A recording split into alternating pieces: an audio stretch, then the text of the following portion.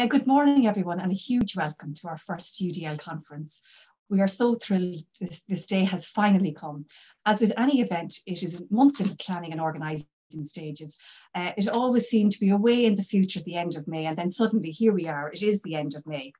It would have been so lovely to host this event on campus to give people a chance to meet and interact, especially over coffee and lunch when all the best decisions and ideas are made.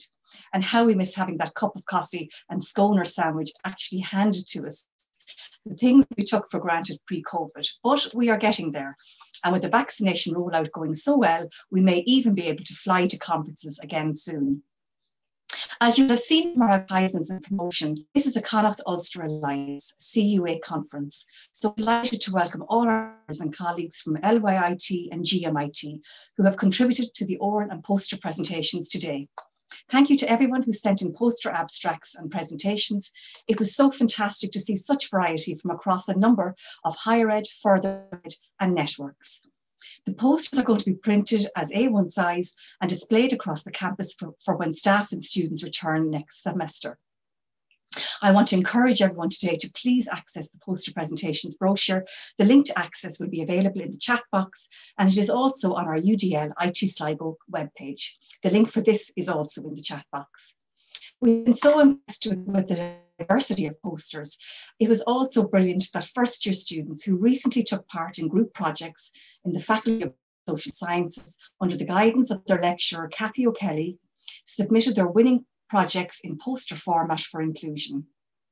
Has is essential and is in fact the steps which we were progressing here at IT Sligo as part of this year's national funding um, SALTA Fund, where we wanted to conceptualise the student voice through UDL. So to focus more on the effectiveness of embedding UDL within curricula from the student's perspective. With that in mind, I want to thank the National Forum for their support of our UDL projects, past and present, through both SATL and seminar series funding. After our conference today, we'll be sending out an online feedback link if you would please complete. We'll also put that link in the chat box too for your convenience. This conference is very much a team effort. I cannot express my thanks enough for having such a motivated UDL working group who are always full of ideas, enthusiasm, and willingness to try something new and even take risks. I think we all give each other courage, and we know that most importantly, we have each other's back, so therefore great support. Each conference theme is chaired by one of our UDL working group members, so you will get to meet everyone who is taking part in the working group at some stage today. I also want to thank my right hand woman, Patricia Henry, who is my CELT support officer, and what a support. Patricia is one of the most hard-working people I've met, and I'm beyond lucky to have her working so closely with me. Despite going on maternity leave in two weeks' time, she has worked tirelessly on all aspects of this conference. So a big thank you, Patricia, and please do not go into labour today. Behind the scenes, too, is Ollie Melia, who has been fantastic in steering us in the right direction, especially with what platform to use, when to do things, how to promote the conference. His expertise and guidance has kept us all calm and reassured. So finally, just some housekeeping to remind everyone of, even though you're all probably really familiar with Zoom and online events by now. Just to point out that this event is taking place on Zoom webinar and therefore attendees don't have the option to actually speak, only listen. However, we do have two places where you can contribute. One is the chat box for any discussion and comments. For specific questions, can you please use the Q&A box as this is where the chair of each team selects questions for the presenters. After the IT Sligo project presentation, e each oral presenter has eight minutes for their presentation, and depending on time, we will put one or two of your questions to each presenter. A reminder also that the conference is being recorded and will be available on our UDL webpage after the event. Many people signed up but cannot attend today, or you might wish to dip in and out, therefore the recording will be helpful afterwards. I'm now going to call on IT Sligo President, Dr. Brendan McCormack, to welcome you all to today's events. Brendan, over to you very much, Niamh. Students, colleagues, delegates, keynote and special guest lecturers, it gives me great pleasure to welcome you to this conference on climbing the UDL ladder. I'd also like to welcome the chair of our governing body, Mr. Neil Donlan, who is attending here today, and also colleagues from the further education sector. It's great to see such a, a turnout from across the whole of education. I really like the imagery conveyed by the title of the conference, our education system is built on the concept of the ladder of progression. progressing up the levels of learning. And calling a, that a UDL ladder is a strong statement that UDL is actually a core requirement to enable student success. UDL is in fact the sidebars of the ladder that hold the level rungs together. You know I was an engineer. Here in IT Sligo, we have a strategic objective to foster inclusion and participation of all students, and specifically to embed UDL for learning across programs with appropriate training and support. So a related objective is to support the continuous professional development of staff. Over the past three years, more than 150 staff have attended UDL workshops and seminars. 80 plus staff have attained a digital badge or have demonstrated evidence of UDL through curriculum changes. And 31 lecturers took part in a significant UDL project in 2020, and you'll hear more about this project shortly. To make this happen, we've established a UDL working group under the management of our Centre for Education, Learning and Teaching, to drive UDL progression across the Institute. And this is led by the indefatigable Niamh Plunkett. This working group has developed a number of key guideline, guiding principles to embed UDL, creating a cross-campus approach to implementing a culture of inclusion and diversity. What that means is getting the message out to a wider audience of lecturers that diversity is here to stay and that we need to build inclusivity into how we educate it's not for the few, it's for the many. Staff from all disciplines working together, that's another key element. So it's not a niche technique we're developing. And we're providing a framework to incorporate best inclusive practice by having a UDL work plan, applying measurable assessment tools so we know we're being effective in achieving inclusivity, and creating inclusive curriculum design and effective instructional design techniques. As you may have heard, we made a fairly big announcement on Friday, an engagement announcement, if you like, between the three institutes of GMIT, LYIT, and IT Sligo, with the proposal of marriage sitting in the hands of the Minister, Simon Harris. With his blessing, we hope to become a technological university in early January 2022. Today is the first conference since that announcement, and we are already building our collaboration with colleagues in both GMIT and LYIT to ensure an effective institute-wide approach to providing teaching, learning and assessment through a UDL lens. The UDL group is providing a set of practical supports for all lecturers, a UDL inclusive audit toolkit. So the UCD toolkit and the CAST audit have been adopted to suit the needs of our staff and students. We're also redeveloping our syllabus management software to ensure UDL is embedded from the outset as modules and programs are developed or redesigned. And we are compiling a digital repository of all UDL resources accessible to staff. We also believe that it's important to capture the student voice in this work, and we're very grateful to the National Forum for funding our project, conceptualizing UDL with a student voice. At the end of the day, we are professional educators, and it's important that we share what we have learned. And we want to spread the word through this inaugural UDL conference today, sharing best practice from across the country, making available all of a UDL best practice toolkit for implementing UDL in higher education and further education, and facilitating national workshops on, for example, inclusive audits, digital inclusion, inclusive curricula, and continuing with the national rollout of the digital badge, both here in Sligo and across the CUA. And I should say, you can see where this is heading towards the creation of a national higher education centre for excellence in inclusive practice. And that's where collectively we can help and support each other. Like everybody here, we're contributing to the review of the National Access Plan, and there's a strong recommendation coming through from most HEIs that UDL, as a teaching and learning framework, should be a central pillar in the next iteration of the plan. IT Sligo shares that vision and that's why it's an objective within our strategic plan.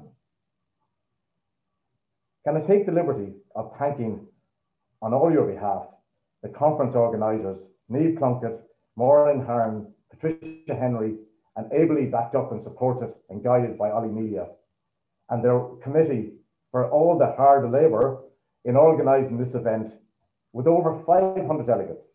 Quite an enormous effort went into planning and delivering this amazing event this year. And the care package was a wonderful touch and very welcome. Thank you uh, for that nice uh, touch. Thank you all again for attending the 2021 UDL conference, and I look forward to welcoming you all in person on our campus when it's safe to return. Finally, it is my privilege to introduce a special video message from the Minister for Further and Higher Education, Research, Innovation and Science, Simon Harris. Thank you very much. Back to you, Niamh.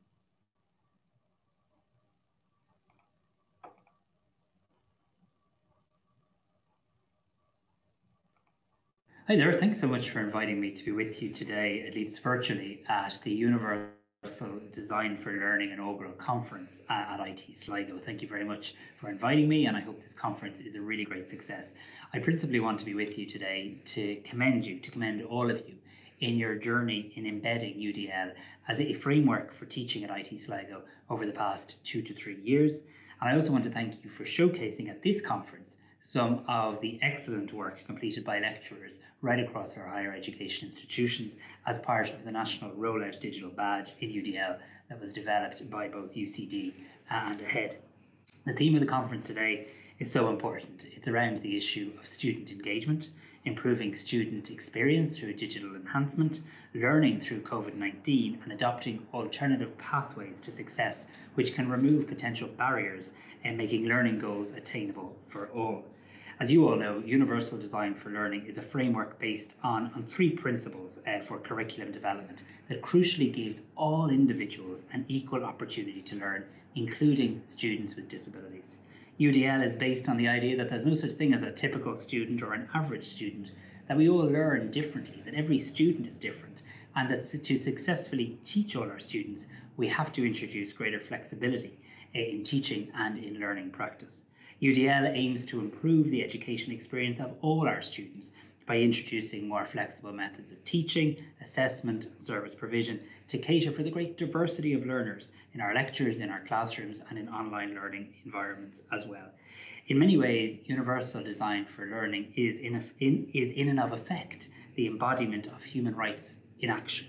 This is a model that was devolved with responsibility for inclusion, not just the remit of the Disability Office, inclusion has to be the responsibility of everybody right throughout the organization. Inclusion is everyone's business, and that means a commitment to both the provision of high quality individual supports, high quality group supports, and a state and institutional commitment to reducing barriers in the learning environment and the curriculum as well. And in doing so, we aim to reduce the need for individual reasonable accommodations as we provide more support and remove barriers for all students directly in the mainstream. We're developing our new national access plan uh, this year. I'm really excited about this. We've made a lot of progress when it comes to access over the last number of years in our country, but we have much more to do. And I have absolutely no doubt that the work you are doing in IT Sligo and the work so many of you are doing in higher education institutions right across the country in embedding UDL in all you do will make a me- real and meaningful difference as we try to improve access and open up access to everybody to further and higher education uh, in the coming months and years. I wish you all the very best with your conference. I think listening to students and engaging with students, hearing their voices and hearing how we can do even better is so crucial. I hope you have a great conference and I look forward to seeing you in person soon. Government. Uh, again, I just want to thank um, Minister Simon Harris for taking the time to record such a lovely, personal um, and encouraging message. I think it's obvious he knows and realises the importance of UDL and in driving it forward as an integral part of the National Access Plan. Uh, Patricia, can I now ask you to play the short video from the National Forum? Um, and then I'm going to invite Ellen McCabe, a member of our UDL working group, to do a quick Mentimeter poll with all attendees. So if you want to have your mobile phone handy. Thank you.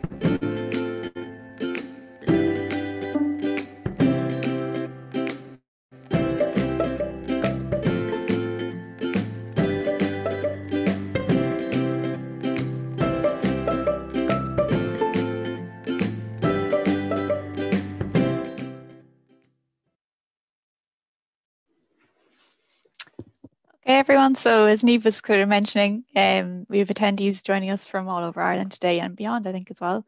Um, so, we're going to do like a little activity to just kind of get a sense of that since we can't all kind of really chat. So, if everyone could go to menti.com, I'm just going to put the information into the chat now and just enter the following code um, 81832 So, it's uh, just in the chat there. And I'll share my screen.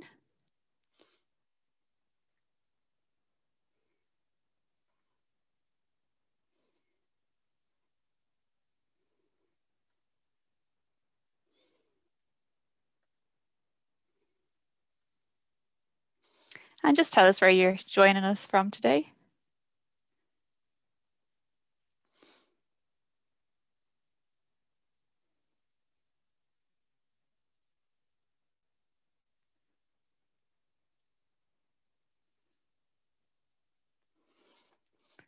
Great. So we've got loads, loads of our colleagues in anyway from Sligo and Roscommon. Okay, so we got some people from the UK in today as well.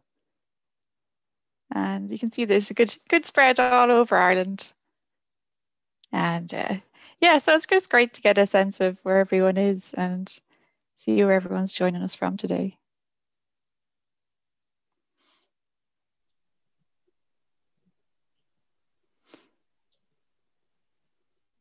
That's fabulous, isn't it, Ellen?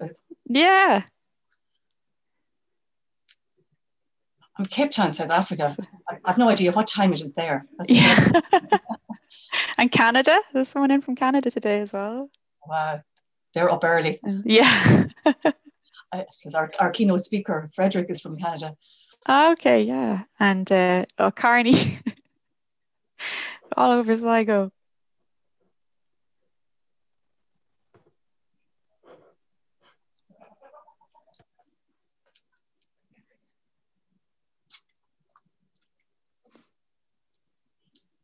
Lovely Leitrim. Yeah. Tubbercurry, you're my friend. Loads of. United Arab Emirates. That has to be Colin. oh,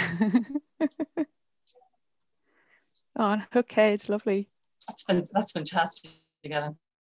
Yeah.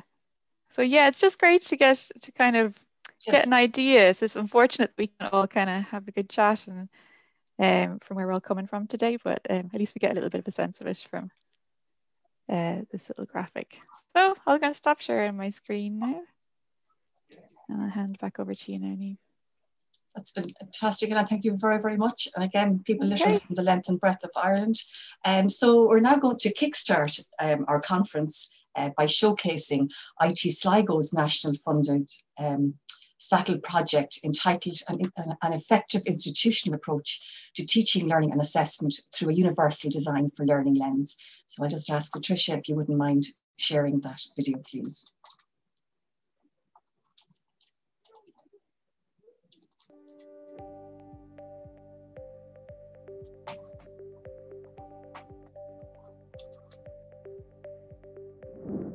Hello everyone. In 2019, we received non-competitive funding from the National Forum for Enhancement of Teaching and Learning and immediately we wanted to prioritise our ongoing efforts with the development of staff understanding and knowledge alongside the implementation of universal design for learning into curricula across the Institute. Our project lead for this exciting and still ongoing initiative is Maureen Haran, lecturer in social sciences and UDL lead within the Institute. Working with Maureen on the project are Dr. Shelley Brady, our Disability Officer, and Dr. Ellen McCabe, one of our instructional designers. They will now provide an in-depth account of their roles and function within with the IT Sligo UDL project, its implementation and impact. I would also like to acknowledge the commitment and work of our UDL working group, whose membership comprises of the project group, including myself, Maureen, Shelley, and Ellen, and in addition, Kathy O'Kelly and Mairead McCann, both lecturers in the Faculty of Business and Social Sciences, Dr. Geraldine Dowling, lecturer in the Faculty of Science, and Patricia Henry, CELT Support Officer. Together, we are driving the implementation of UDL forward across our institute and with our partners in the CUA. This is only the start of our journey. We have made great strides in only a short few years, but having the commitment from senior management and UDL actioned in our strategic plan, we have also been able to approach UDL from an operational perspective with buy in from staff, which has been instrumental in our success to date. I hope you enjoyed the project presentation and I will now pass you over to Maureen and colleagues. Hello and welcome to the Institute of Technology Sligo. You see before you an image of a fish, and I have used this analogy before, but it is always fitting. The fish in this image is what is known as the salmon of knowledge. In Irish folklore, the salmon of knowledge is a symbol of eternal knowledge. As you can see from this slide, the salmon of knowledge is situated at the entrance to IT Sligo, which symbolises our commitment to fostering learning. Each year on International Day for People with Disabilities, this fixture is illuminated purple to represent what IT Sligo holds dear in its teaching and learning, and that is fostering a culture of inclusion. Today, Dr. Shelley Brady, Disability Officer, Dr. Ellen McCabe, Instructional Designer, and myself, Maureen Haran, Lecturer, all from IT Sligo, will present on an effective institutional approach to teaching and learning and assessment through a universal design for learning lens. Our talk will highlight our collective efforts, which have contributed to a wider initiative that seeks to implement and embed UDL into our teaching and learning across the campus at IT Sligo. What will you, as a participant, learn from our presentation?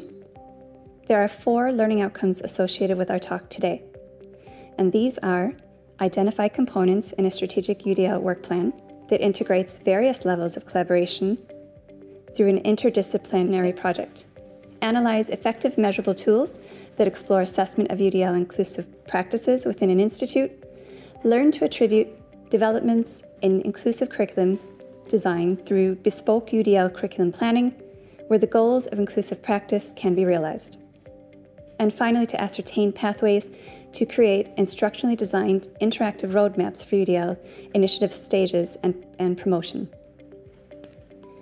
Last academic year, the UDL Working Group within IT Sligo submitted an application to the NFETL SATCHEL, which is the National Forum for Enhancement in Teaching and Learning, strategic alignment of teaching and learning, enhancement funding in higher education.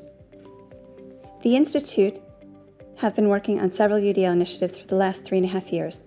This saw the establishment of a UDL working group that consider themselves the converted.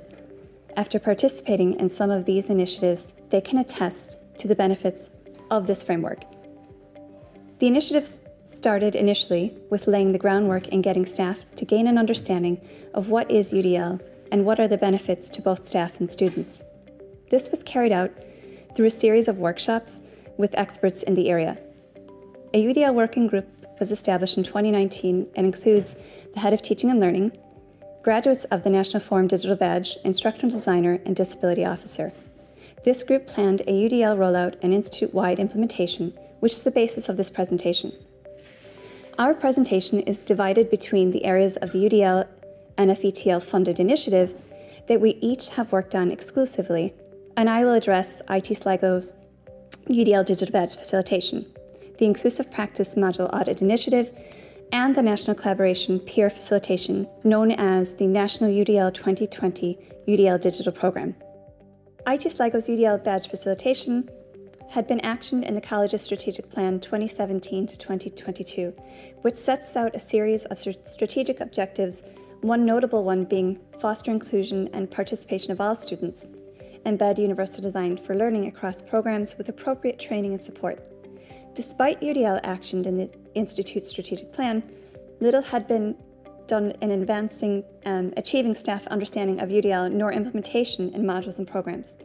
It was apparent from the strategic plan actions that management and leadership understood the importance of embedding UDL across programs. However, there was little involvement with staff from an operational perspective. Rather than mandating the inclusion of UDL across modules and programs, the approach taken differs from that to other HEIs, insofar as UDL is considered from a bottom up as well as a top down perspective. While UDL was deemed important by senior management, getting staff involved at operational level through establishment of a UDL working group increased collaboration, increased motivation, and hence faster innovation.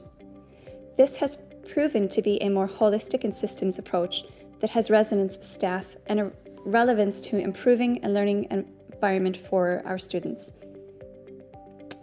Driven from, as I mentioned, the top down and bottom up approach, we provided initial workshops to interested staff. Given that my background in both teaching and disability awareness, I became the Institute UDL facilitator and lead. I facilitated the delivery of the National Forum digital badge once per semester to interested staff. The badge comprises 25 hours of learner effort and a reflective exercise. The UDL participants sought to make one change to their module, implement that change, survey their students for feedback, and produce a case study on this development. This was facilitated through Moodle, which is an open source learning platform, which was easily accessible to staff and served as the online classroom. From 2018 to 2020, 143 staff have attended workshops, seminars related to understanding UDL, and 79 staff had attained a National Forum digital badge in UDL or demonstrated significant change in their module to align with UDL principles. These people have become our UDL champions. In 2019, a staff member was one of those educators nationally shortlisted for the annual John Kelly Award in, uh, for UDL within Ireland. Four additional staff went on to take up the facilitator's digital badge in UDL, and the Institute now has five facilitators of the badge. As part of a wider plan to actively promote UDL across the Institute through a variety of communication tools, workshops, UDL digital badge attainment, and active engagement with UDL related projects and research, the inclusive practice module audit emerged. What was evident from the outset was that no matter the number of workshops, guest speakers, and even digital badge attainment, this alone does not ensure UDL development or implementation in curricula. Staff may have an understanding, however, it was quickly acknowledged through discussions that they need continued support and one to one facilitation to underpin their module or program with UDL principles. With limited resources and no staffing, the Centre for Enhancement of Teaching and Learning needed to maximize on the goodwill of those who had an interest in implementing UDL to support all students. Through the HEA Satchel Funding 2019, this provided an opportunity to enact what staff had requested one to one support and training to enable them to embed principles of UDL within their module. A pilot study that was carried out in summer of 2019 informed this project. This was carried out with one staff member from the Faculty of Business who agreed to have all of her content from one module reviewed against an inclusive assessment tool. Using Dr. Lisa Padden and Dr. Anna Kelly from Access and Lifelong Learning in, in University College Dublin, who have done phenomenal work in their publication University for All, and the Inclusive Toolkit, which has been widely shared, and the CAST organization, who have also shared the guidelines within the three principles of UDL, which is completely accessible online. I combined these shared resources to create a toolkit unique to the needs of IT Sligo, which has aided me in carrying out inclusive UDL audits with my colleagues. These are the shared resources and a snapshot of the unique toolkit created by IT Sligo as a result. This toolkit has enabled us to narrow our focus and zero in on how compliant our modules are or, or are not. 31 staff volunteered to take part. Without questioning, they handed over their module to be audited against UDL compliance. This is significant insofar as it demonstrates the trust that staff have in the UDL facilitators, as they were willing to hand over their content and resources and possibly be judged. While it was important for lecturers to understand the changes it was vital that their heads of department and heads of faculty were also knowledgeable. Lecturers needed the support of their line managers, so I provided one to one training to all heads of departments and heads of faculty, which not only provided that opportunity to learn, but it demonstrated to staff that these principles were viewed as being important by management. In autumn of 2020, AHEAD and UCD Access and Lifelong Learning teamed up to jointly deliver the digital badge for UDL in a fully online format. This digital badge course, hosted by the National Forum for the Enhancement of Teaching and Learning, provided participants with a strong introduction to the Universal Design for Learning framework and gave them the opportunity to implement UDL approaches within teaching activities they are currently undertaking. Typically, the course runs for about 35 people. However, on this occasion, it was successfully completed by 536 participants simultaneously in further ed and higher ed. the largest national rollout of UDL continuous professional de development ever undertaken in Ireland. IT Sligo's five UDL badge facilitators were involved in this programme, and collectively they facilitated 147 participants within IT Sligo, Letterkenny Institute of Technology, and other institutes around the country. IT Sligo were responsible for 22% of the national rollout. I now hand you over to my colleague, Dr. Shelley Brady, who will discuss the parts of the project that she has done exclusively. My name is Shelley Brady and I am the Disability Support Officer in IT Sligo and I'm going to talk to you a little bit about inclusive curriculum design. So the UDL working group at IT Sligo have been considering how to embed UDL at programme and module level across the institute. In order to ensure UDL is embedded, it stands to reason that staff need support in order to achieve this. So you've heard all about the wonderful staff support and training from Maureen, but another part of this puzzle was how are we going to support all staff at the module and programme build stage. In IT Sligo, we use a module programme management and build platform called Module Manager. It's a systematic tool and it brings you through each element of the module and programme design. This is where we knew that we needed to support staff at this stage of the programme and module build and it was really important to ensure that the UDL principles were embedded within this platform as a result. We decided, decided to hold a focus group as it was imperative to learn from the experienced academic staff who are currently utilising Module Manager and learn how they were finding it, what difficulties were they experiencing, and any feedback they could give us that would be useful. It was an ideal opportunity to hear how Module Manager was functioning for staff, and it allowed us to listen to them, talking through their thoughts and concerns, and we could take them into consideration because ultimately they would be the end users of this product.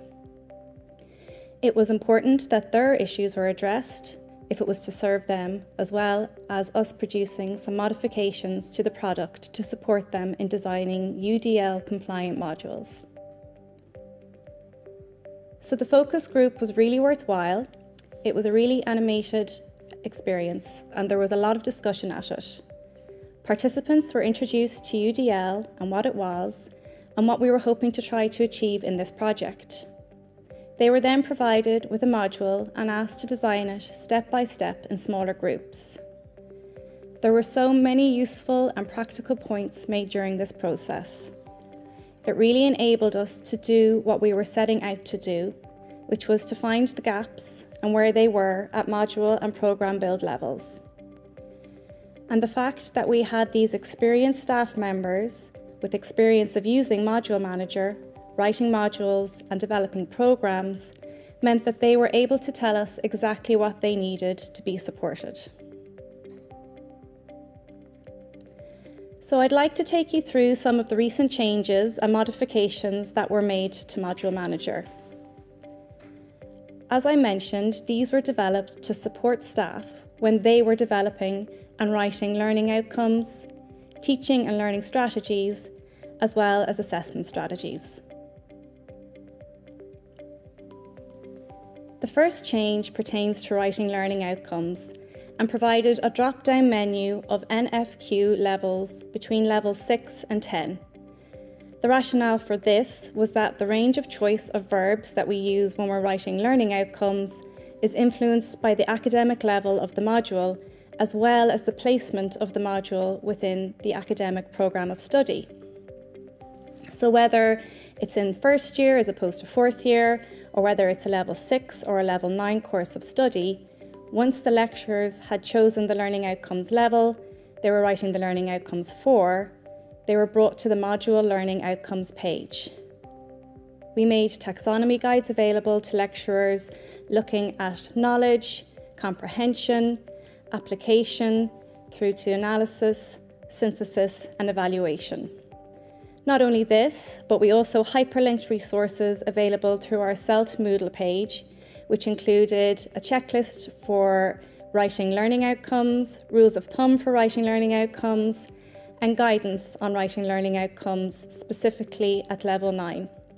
So, for whatever level selected by the lecturer in terms of NFQ specific guidelines, they were made available on this landing page across all levels.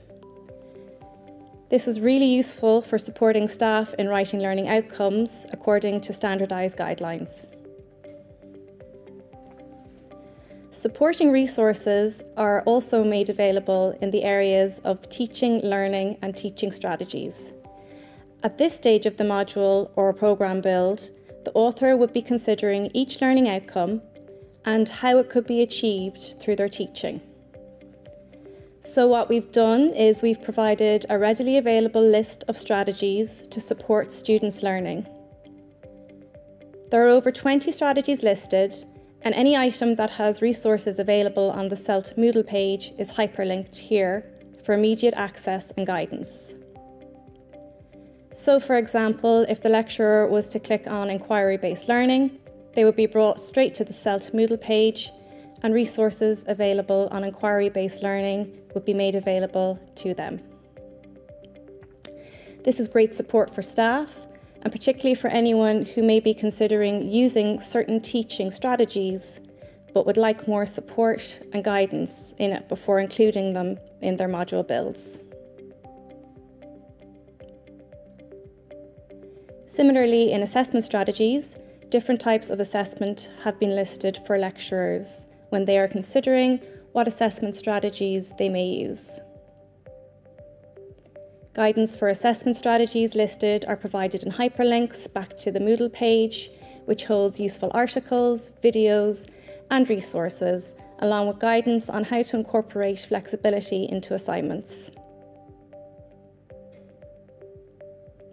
We've also launched a series of workshops with experts of specific learning difficulties last month.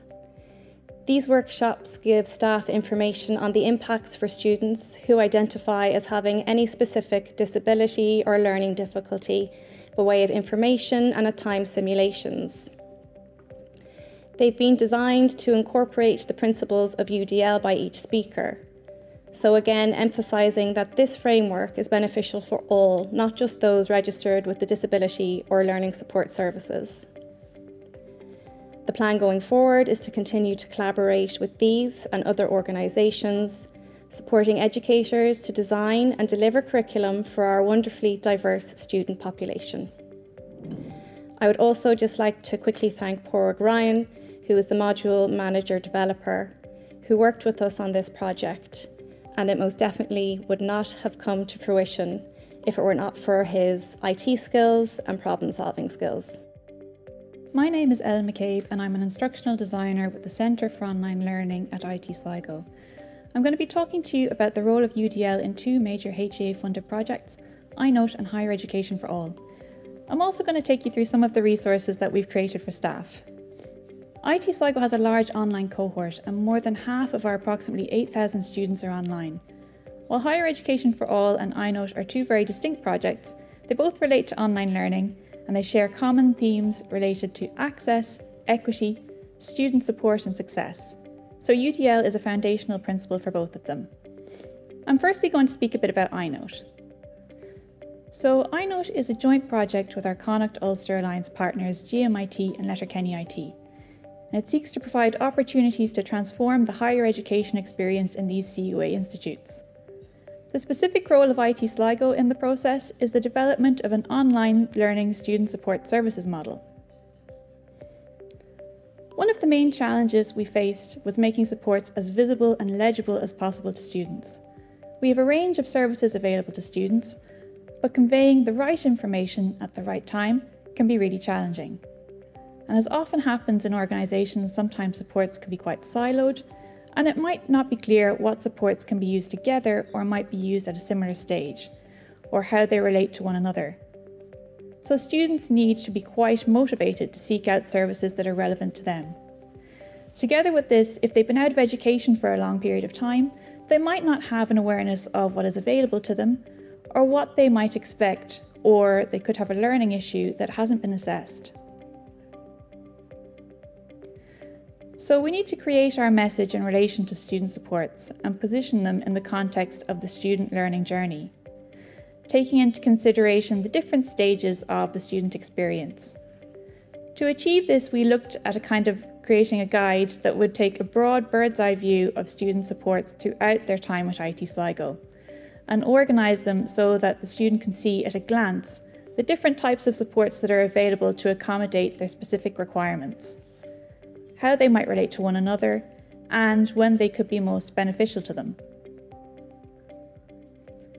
While guides like these should enhance the visibility and clarity around supports to a large extent, you're still sort of depending on the student to seek them out as a kind of additional accommodation to their studies, and that in itself is a barrier. So, as far as possible, you're trying to remove that necessity by embedding supports as an inherent part of the student's educational and social journey. One simple way of achieving that is by locating access to supports directly on course pages, and this way put them in the context of the course so supports can be read visually as an integral part of the course that relates to other aspects like assessment and learning outcomes, and they can be framed in that way.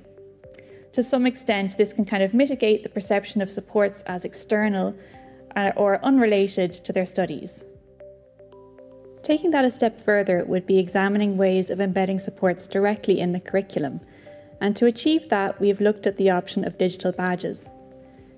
Many of you might be familiar with digital badges. They're essentially an online representation of a skill or achievement you've earned. So, we're designing flexible badges that lecturers can select elements of and include in their courses. In this they can embed core learning skills in their curriculum.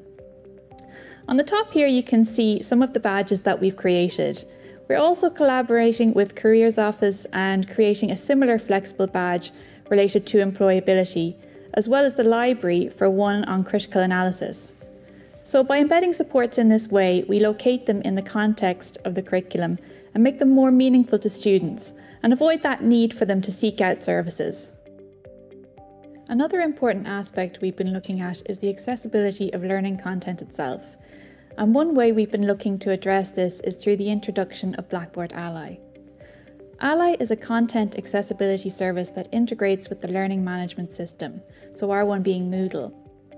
So within any institution, there's vast amounts of content being created all the time and circulated, so it can be really difficult to get a sense of where issues are arising. Improving accessibility obviously leads to quality and usability that benefits all students and is crucial in terms of UDL. Ally can help address this in three principal ways, so firstly, it automatically generates alternative formats for course content within Moodle, and this gives students the choice of accessible alternatives such as semantic HTML, audio, EPUB, electronic braille, and tag PDF. It also checks and scores course content that is uploaded, providing feedback and guidance on how to fix identified accessibility issues to the lecturer. Together with this, it can analyse course content into an institution wide report, and this gives us an insight into how the institute is performing and where problems are and how things are evolving. Moving on to higher education for all, this project seeks to develop full time online courses for individuals who, for whatever reason, can't make regular trips to campus. Through Higher Ed for All, we are actively working with advocate groups including Family Carers Ireland and Disability Federation Ireland, as well as ETBs, to create supported pathways for marginalised learners. The project provides dedicated supports for lecturers to assist them in adopting highly flexible approaches to their teaching and allowing students to fit their study around any other responsibilities they may have, as well as their individual learning styles. Lecturers receive one to one training sessions, equipment, software, and other resources to help them achieve this. We also engage regularly with students to get a sense of how they're progressing, what they need, and to get feedback on how we can improve, as well as to facilitate social interaction. We currently have two programmes running Writing and Literature and Health and Information Science. Next, I'm going to talk about the resources we have in place. So we felt it was very important that initiatives like these, as well as the ones Shelley and Maureen were speaking about, are made visible and legible to staff in terms of how they are progressing the ethos of UDL throughout IT Sligo and are having a very real and tangible impact And one simple way of achieving that is through a kind of a roadmap infographic. And this just very simply shows our progress towards UDL compliance and communicates at a glance what has been achieved and what is to come. It's also interactive so students and staff can kind of dig down um, into different aspects to find out more and how to get involved. And this roadmap map is currently being updated to include many more recent developments. Elaborating on this is our UDL Moodle page, which showcases in much greater depth what is happening in relation to UDL in different areas of the Institute, the principles of UDL, how these can work in practice and are working through case studies, as well as a range of resources and supports for staff. To conclude, it is important to mention that early adoption of UDL at IT Sligo has been managed by a top down, bottom up leadership approach Strong buy-in was achieved through seminars, workshops, the UDL digital badge attainment, and active engagement with UDL-related projects and research, demonstrating the benefits of UDL for all learners, rather than focusing solely on disability. Some key learnings from this funded project include ensuring that the technique is explicit, demonstrating the positive impact for students resulted in rapid adoption by staff and curriculum modifications for both new programs underpinned with UDL and existing programs through programmatic review. A top down, bottom up approach is most effective in applying UDL principles in curricula. Staff development should be flexible and inclusive in applying the contextual needs and drivers for UDL. Use case studies to evidence support success through the UDL principles. Research allows the development of new models of collaborative provision enhanced engagement between academics, students, and professional educators. And that point, I mean that in tandem with this initiative, research is being undertaken to further explore all of this work. Other key learnings include audits of changes made to modules highlights the benefits of fostering inclusive teaching and learning. Accessible platforms improve the design experience, which consequently improves the student's experience. The aspects of digital inclusion allow students to access materials and content in multiple platforms and informs lecturers on content accessibility. It is important to capture the student voice, and this is the subject of future work underway this coming academic year. And one final thought is that designing systems for ease of use and understanding for staff is paramount to early adoption. This concludes our presentation. Thank you all very much for your time today. If you would like to connect with the UDL Working Group within IT Sligo, you can email us at udlworkinggroup at itsligo.ie. That's lovely. Well, I hope everybody enjoyed um, finding out about what we've been up to in IT Sligo over the past couple of years and how that project has kind of culminated um, um, in embedding UDL within our curriculum. Um, and as uh, Shelley discussed there as well, we felt it was really important to not just have staff to have an understanding of UDL um, and the principles, but also that it's embedded from the outset of, of developing our modules. Um, can I just ask as well, people are putting questions into the chat box um, if you wouldn't mind, just use the Q&A box as well for, for questions. We've some coming in there. Um, I might ask Maureen, Ellen um, and Shelley, if you put on your cameras, I just have a couple of questions that I, will run by. Um, let me just see the first one here. Um, this is from David. The UDL Inclusive Audits Toolkit mentioned was used as a guided assessment tool in assisting lecturers is it possible for this to be a self-assessment and used as a digital support? I suppose, Maureen, would you be able to have a look at that? Yeah, no problem. Thanks, Niamh. Um, yeah, so the inclusive module audit um, can be accessed, uh, accessed through our, our uh, CELT Moodle page. Um, this is where an academic academic can use the inclusive uh, UDL module audit um, for self-assessment on both a module and then we've also created one for a program as well. Um, I have had a lot of interest on this after the AHEAD conference where um, we spoke on this uh, briefly there as well. Um, and there's been other HEAs around the, around the country who've gotten in touch to say, you know, is, is this a shareable resource? And, you know, we are very happy and excited to share uh, best UDL practice. Um, the next UDL initiative phase that Niamh mentioned earlier um, will be on capturing the student voice. And as part of this project, I will be working with our CUA partners too to share and provide training on these unique resources as well. That's fantastic. Actually, Maureen, uh, Brendan has also mentioned there as well. Um, it's an excellent idea on mapping student support uh, it's such an important requirement for students to understand the range of supports um, available. Um, and Brendan has actually just asked, do you believe that applying UDL principles is complementary to a move towards personalised learning or are there different approaches?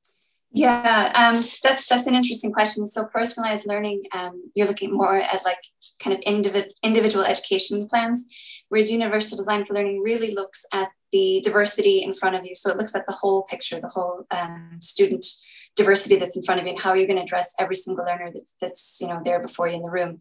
Um, whereas the um, uh, personalized learning is, is, is more of a different approach. Now, it does touch on that area because if you're catering to everybody's diversity and everybody's learning styles, um, you're certainly um, you know addressing all of this as, as you go along, which is in the design. Um, the uh, design and everything that Shelley mentioned um, is really really important.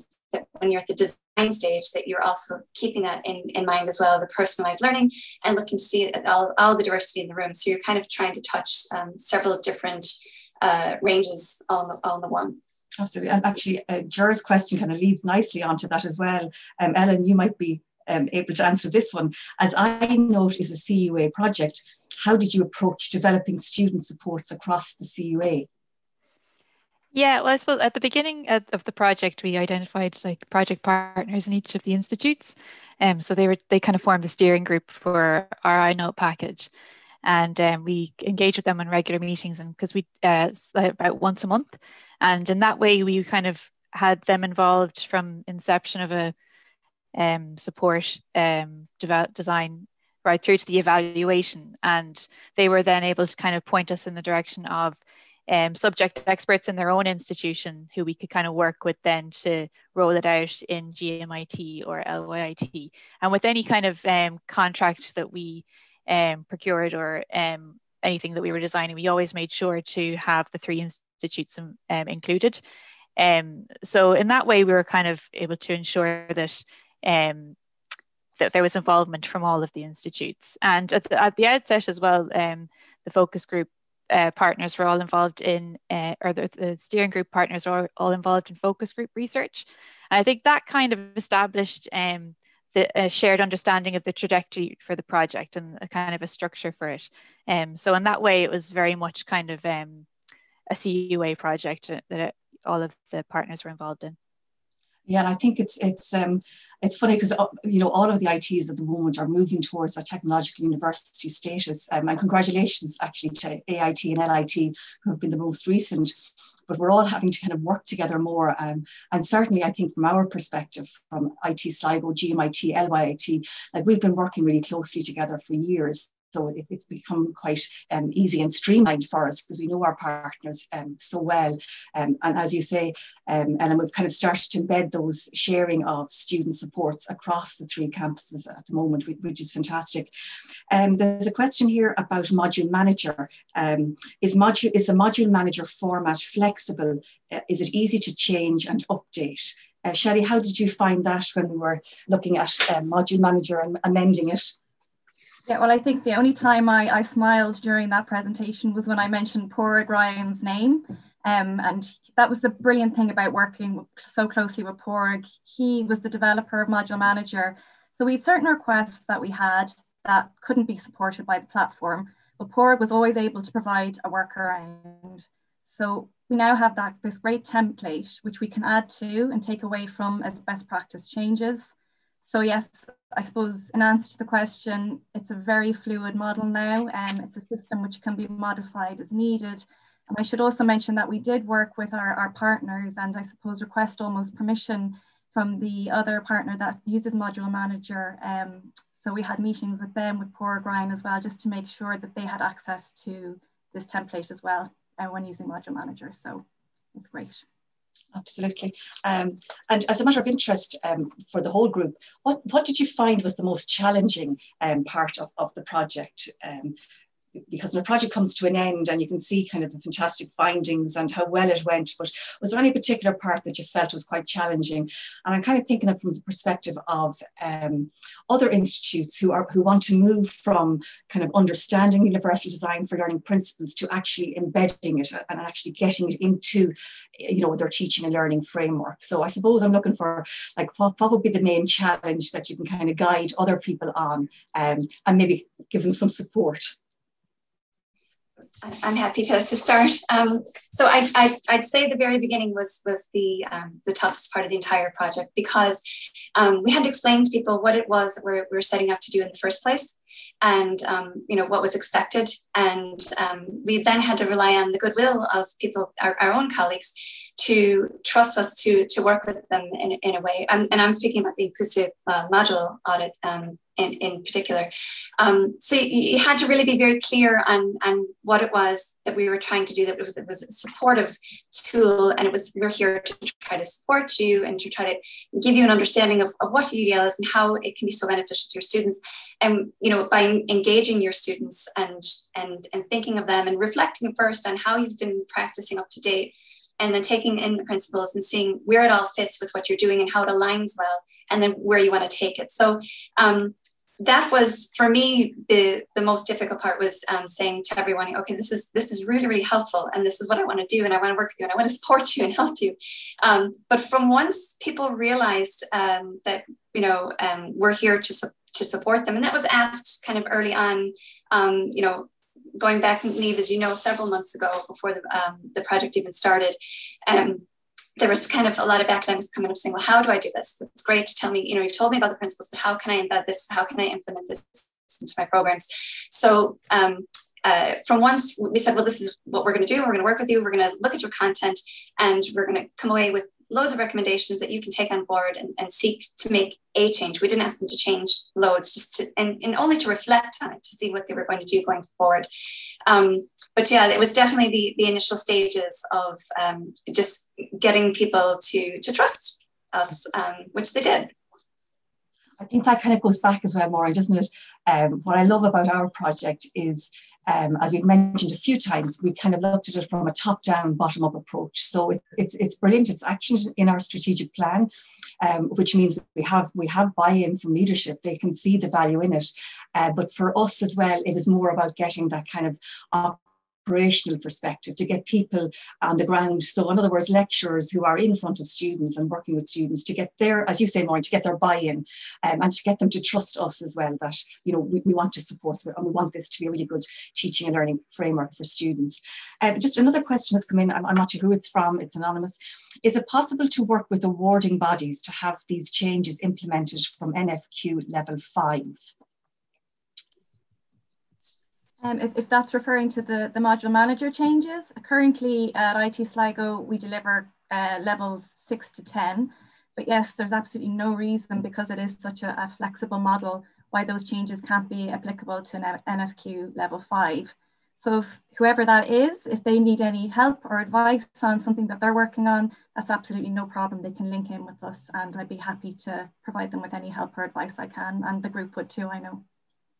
Brilliant stuff, Shelley. Um, I'm just going to have another quick look at the, at the, chat box here as well, or the questions and answers. Um, do you support students to develop their own learning toolkits? Since learning styles have been debunked as they're not useful concepts, UDL seems like it would be a good way to develop the diverse learning skills they will need. Sorry, I'm just trying. Am I muted or can you hear me? No, I can hear you there. Okay. Um, that's a really interesting uh, question and an in- interesting take. And that's something really to consider with the student voice now going forward. Um, so, with the next um, uh, funding that's been ring fenced by the National uh, um, Forum, we're looking at the student voice. We're going to be um, working with the students, um, running focus groups to see, you know, students that have been a part of many of the badge redesigns through the Universal Design for Learning Digital Badge we're going to be working with those specific cohort of students to see, well, how beneficial, you know, are these changes and um, kind of come from that angle. But that's something really to consider with the student voice project uh, with the funding going forward because um, you know i think if we're going to try to include the students in their learning and get them to self-regulate their learning uh, which is our ultimate udl goal um, if you've if you if you've read the principles and, and you get to that end phase, you know that that's what we try to scaffold our students to do. So um, that's really something interesting to take on board for sure. Absolutely, and it's something that we're, we're all actually really excited about as a, as a UDL um, working group and project group of, of taking our project to the next level um, and getting the students in, involved in it. Um, and so much so, we're actually thinking of next year's conference theme already, that it's going to be very much focused around the student voice and it's going to be very much a student-led conference and we're going to get them to take ownership of it. Uh, so they're kind of taking ownership of their own learning as well. So um, something um, to look forward to, to next year. That's, that's if we get through today. So look, thank you so much, um, Maureen, Ellen and Shelley for that. And um, just moving on to the next part of the conference now, um, where we start our um, conference themes. Um, and as I was saying earlier, we have a member from our UDL working group who, who will chair each of the themes. So I would like to introduce um, Kathy O'Kelly, who is lecturer in Faculty of Business and Social Sciences. And Kathy is the chair of our first theme, which is student engagement and capturing the student voice. Kathy, over to you. Thank you very much, Niamh. Um, good morning, everybody. So I'm delighted to be chairing this session, um, which is about student engagement and capturing the student voice, which is very much part of the whole UDL agenda. So we have two presenters in this session. We have Laura Hegarty in GMIT, and then we have Dr. Um, Natalia Delimata from IT Sligo.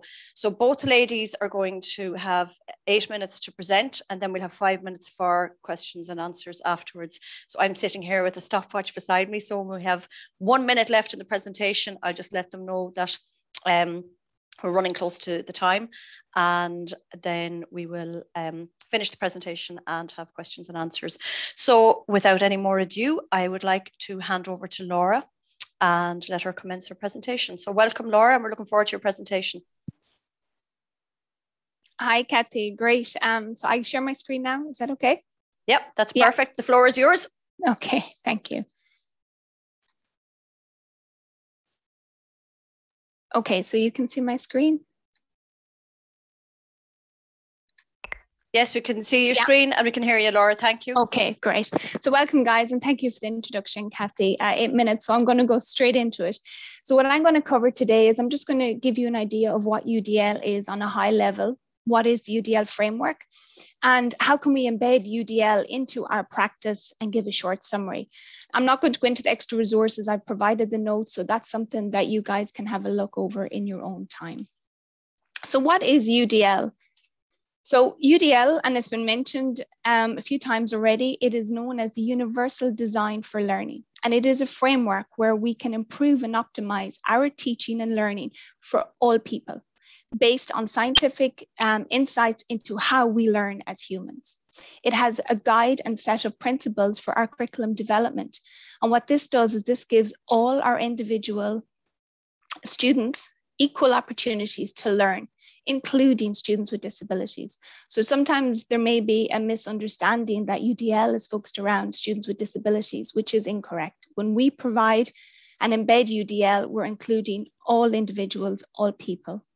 And when we do that, we give power to the students to allow them to be creative in, by providing choice for them for their learning. And from there, they can select their individual path to showcase how they learned, and what they've learned. So, briefly, what is the UDL framework? So, looking at this, um, it's, it's quite a nice image and it goes through, I suppose, the neuroscience research funded. So, the UDL framework was designed by CAST in the USA back in 1984, and it looks at multiple means of engagement in the green, multiple means of representation in the purple, and then multiple means of action and expression in the blue. So looking at the left on the, the green, this is the why of learning. So it's about providing multiple means of engagement for our learners to understand why they are learning what they're learning, okay, through different materials. Then the what of learning is in order for them to learn, we need to provide different means of representation of data. So every student has a different learning style and ability. So by, by providing choice and represent this, this material in that way, they are um, opening up, I guess, the, the options and choices for them through different representations. And then the how of learning is really then how the students can showcase what they've learned through action and expression. Okay. So that's kind of quite a whistle stop in the UDL framework. So I just want you all to have a little think about your audience, all the students that you teach. And if you just focus on the image itself, the question is what, for a fair selection, everybody has to take the same exam. So they all need to climb the tree. So you've got your six different animals there, and they're all going to climb it different ways, different directions, you know, and so on, because they have their own way of getting to the top of the tree. Some may get there, some may not, but, but, but, but by providing the choice and pathways for them to do that, they will succeed. And it, through neuroscience, it reveals that really it's, it's very much like unique DNA in our fingertips, UDL, because everybody has different skills, interests, and everybody learns differently. So focusing on our audience is really, really key.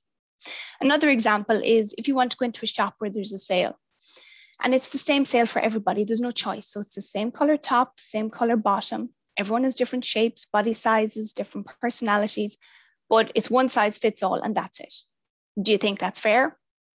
You can all reflect on that. So, in a way, this is happening in our education system. So, that's why we need variety. And we need to bring this variety into our curriculum to provide that choice for our students. So, let's think universal.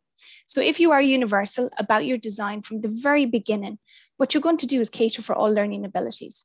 For you, it's important as educators to find your style that you can carry through your curriculum design.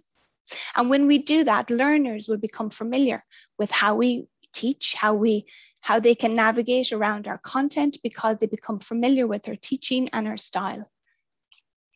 So from there, in UDL, if we design going forward if you're not already doing it and a lot of people are already doing it already and they don't actually really realize it's actually udl that they're implementing but if we provide um, variety in mind and we design our lessons that way we're going to accommodate everybody so how do we do that well let's provide different um, multiple ways of, of representing information allow students to make choices and respond in multiple ways and allow them to engage ultimately in the whole process where they can take ownership of their learning.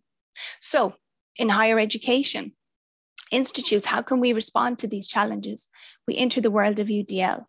We learn about it and we implement it. And we're all here today to do that, which is a great start. So in a nutshell, I'm going to give you a few examples of how you can take away little key um, implementations, hopefully, into your practice.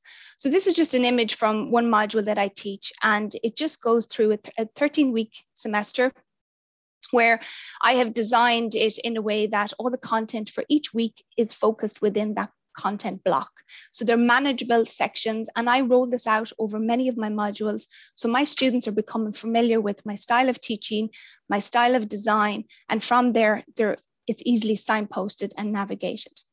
Here, these are just two screenshots taken from, say, week eight content and week 12 content, where I provide choice of representation. So I give PDF and PowerPoint presentations, same content, it's just the option. Students can pick whichever one they want to open. I have videos. And what the key takeaway for you guys is to think, well, could you create a template for your curriculum that you use for, um, for your work that students will become familiar with it. Another one is making documentations available and by doing that, providing multiple means of representation. So like a PDF, a Word, a PowerPoint, a video. And by providing choice of the same content, you let the students choose which one they want to pick. It'll all mean the same, it's all the same content, but you're providing choice. Creating videos. We've all learned, especially in the last year and a half, videos has become a real part of our teaching. So by you just turning on and providing closed captions in your video, you are giving that choice to students whether to turn it on or off. So by not doing that, they don't have that choice. And it's really closed captions is not really for, for deaf, um, non-native speakers, you know, while obviously it assists them, we shouldn't really think of it for that target audience. We should think of it for everybody and be inclusive and just to use it because students travel, they're on buses, trains. One minute left. Okay, great. So it allows them to, to have that option to turn it on. Another one, and finally, is hyperlinks. Hyperlinks is a really good supportive inclusion um, tool that you can use, and it provides data um, where students can go directly to the content. It's meaningful, it's gun side posting, and it allows them to um, get to the content easily. This example here is just um, where there's a clickable link and they can go straight to the, the session uh, or they can go to the feedback survey. So it's just providing good signposting um, for them so that it's easy for them to navigate. And it's a great example of UDL. So there are just a few little bits you can hopefully embed into your practice and hopefully you can take that away. So to summarize, we have different learners, we have different styles. So we need to add variety to our teaching. Life would be boring if we were all the same. So in that way of thinking, provide a choice and um, variability for our students.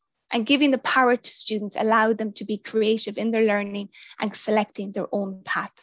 UDL, in my opinion, should be part of our pedagogy and not seen as um, something that we need to do to aid anybody with disabilities. So the last slide here is for you guys as a reflection, how would you implement UDL into your practice? So what I would say is a good way to start is taking micro steps and build on these over time because you need to learn and understand what UDL is and taking little micro steps is a good place to start. And the last comment here is just some feedback I got from a student, which really empowered the work that I did from the AHEAD course with UCD as well for the digital badge. And it was, I felt that given students, sorry, I felt that given us a choice made it more personal and adapted to student learning styles and abilities. I felt that it allowed us to challenge ourselves in different ways. I felt like I was taking ownership and that's it. So the resources are there as well um, that you can check out. Okay. Thank you very much, Laura. Um, that was a beautiful presentation, and I see lots of comments coming in for you here in terms of um, the complimenting you on how beautifully you've explained that for everybody, and that's what's brilliant. And thank you very much for that. Now, I have a question for you, and anyone who has questions, they're welcome to put it into the um, the Q and A box there. But could you just tell me it's you've mentioned it briefly, but how do you start to inform the students about UDL, and what steps would you recommend people take to um, educate them in relation to this whole concept? Okay, so I suppose I've been kind of um, my previous background. I used to work for the National Council for the Blind, so I would have been used to teaching a lot of um, service users around assistive technologies. So I suppose it's founded from, from that background. So for me going forward, what I plan to do and what I have done is I've educated students at the very beginning of the academic year. And I've taken all of my classes where I've, I've spent half an hour telling them what is UDL because they will see when I give them assessments, there's choice. When I give them documentation, there's choice. And I want them to understand that it takes work and that they understand what is UDL and why providing choice allows them to create their own learning path and make it easier for them to engage in, in classwork and to provide the choice when they need to showcase their learning. So it's educating the students and taking time out to tell them what UDL is and that they understand, you know, why we're going to the trouble of embedding UDL into our practice. And on the whole theme of student engagement and capturing the student voice, you know, how has that helped your students to approach their work and to complete their work and reach their learning outcomes?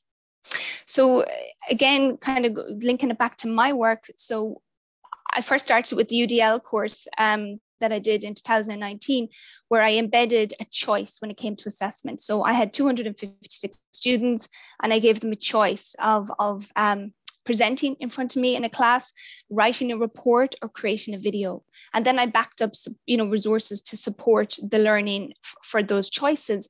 And from there, what I have now done is all the modules that I teach, I provide choice for assessment. So I have now rolled it out into all of my modules for all of my assessments. So what it does is it allows the students to, I suppose, select the choice of what way is the best that they can demonstrate what they've learned through choice of a video of a, um, a presentation or of a report because every student has different learning styles and abilities and they have that choice and they're getting that ownership by providing that choice from me.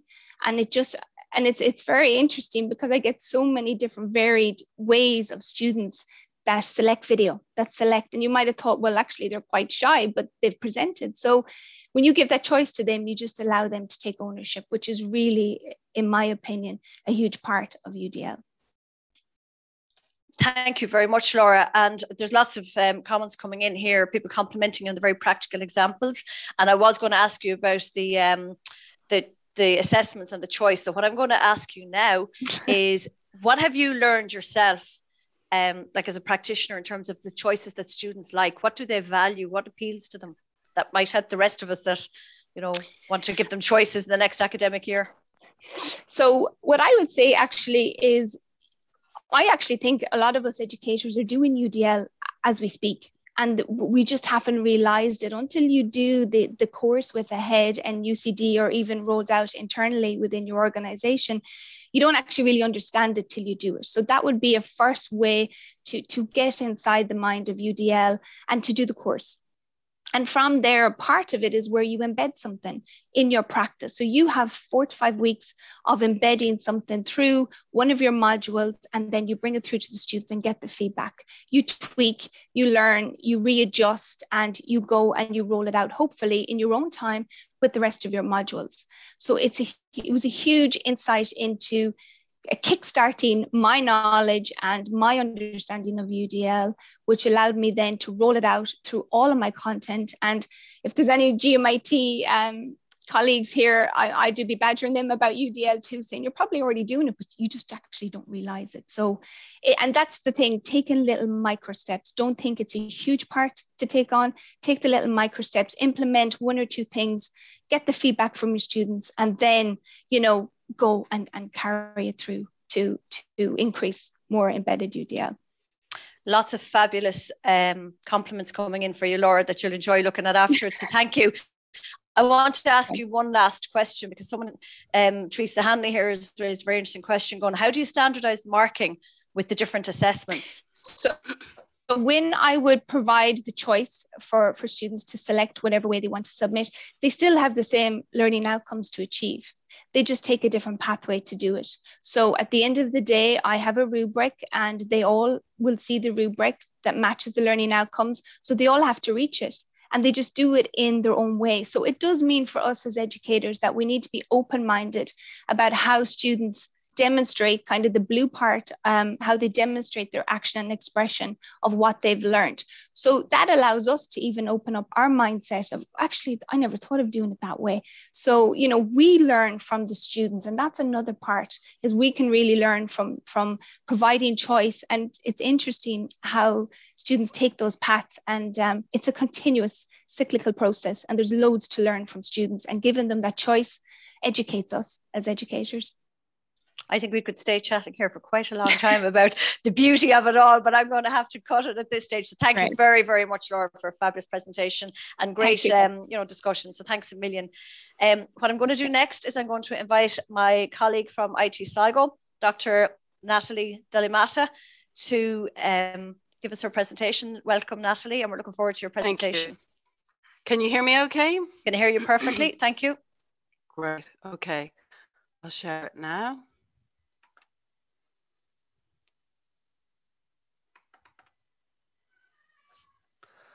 Okay. Um, sorry, I can't seem to open it up. Can you see we it? have fully? it there. Yeah, we have the presentation there. It's perfect. Okay, so um, uh, firstly, I'm Natalie Delimata. I'm a lecturer in IT Sligo. I'm going to be talking to you today about um, the impact of UDL on my teaching. Um, uh, but I'd like to first start off by thanking Niamh, Patricia, Ollie, and Maureen for a wonderful conference. Okay, so first of all, um, my conference title, or my conference title, my uh, presentation title today is Using the Power of Stars to Motivate. Um, what I'm talking about is creative practice, which is a module that I teach. Uh, it's part of social care practice. Um, it's one of the first um, modules that they encounter uh, in first year, the first semester, which is a time of real confusion for students. They come in, they're trying to get their accommodation sorted out, their grant sorted out, what class they go to, all sorts of stuff. Now, initially, I tried to address uh, their confusion in relation to the module or their questions by giving them lots of handouts. But um, uh, th this seemed to have um, a very limited relevance to them when they arrived at first and wound up kind of papering the bottom of bags more than anything else, I think. Um, another concern that students often had was that they had to be absolutely brilliant at art uh, in order to pass the subject. So a lot of them weren't expecting to have to do uh, art as part of a social practice degree. So this was a real concern for them. And also in terms of expressing their own creativity, a lot of them felt, I'm not good at art. If I don't do something really phenomenal, I'm going to get laughed at. Um, so that was intimidating and inhibiting for an awful lot of students. From my point of view, you might say, well, why don't you just show them exactly what to do?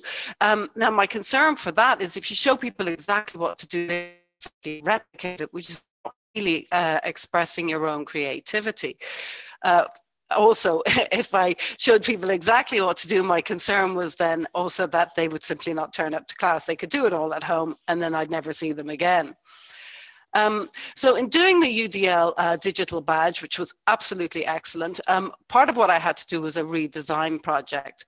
And as I've kind of int- intimated, one of the things that um, I had to do was, um, well, the, the problem that I identified was um, trying to um, get uh, students over their fear of creative expression.